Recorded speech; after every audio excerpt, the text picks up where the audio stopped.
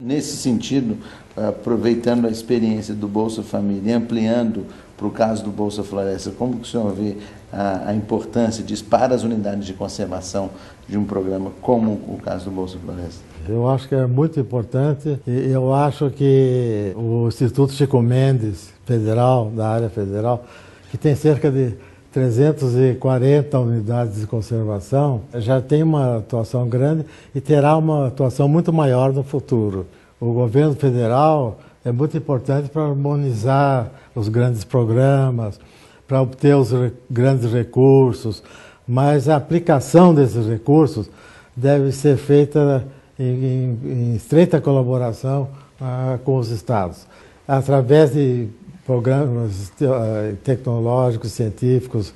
mais sofisticados, a gente possa fazer com que, mesmo que no começo o subsídio seja feito artificialmente, ou seja, que se pague mais do que aquele produto está valendo, mas no futuro eh, vem a retribuição.